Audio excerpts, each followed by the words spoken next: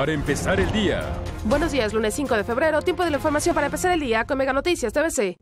El gobierno de Enrique Peña Nieto se comprometió a entregar a Chihuahua los 900 millones de pesos que el gobernador Javier Corral reclamó para la entidad y quien a cambio prometió declinar su intención de presentar una controversia constitucional sobre los recursos en cuanto se confirme la recepción de los mismos. Ante esto, el secretario de Gobernación, Alfonso Navarrete, dijo que los acuerdos firmados son honorables y eliminan y clarifican el problema que había entre los dos niveles de gobierno.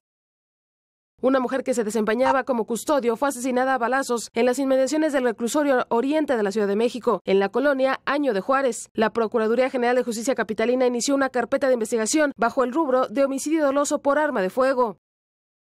Marco Antonio Sánchez, el joven que estuvo desaparecido cinco días, apareció en una grabación tocando el timbre de una casa. En ese momento no se le aprecian golpes en la cara, por lo que el jefe de gobierno Miguel Ángel Mancera consideró que se seguirán reuniendo las piezas del trayecto del estudiante. Videos han demostrado a Marco en Naucalpan, Tlalnepantla y Merchoro Campo, pero hasta el momento se desconoce cómo ha llegado a cada uno de estos lugares.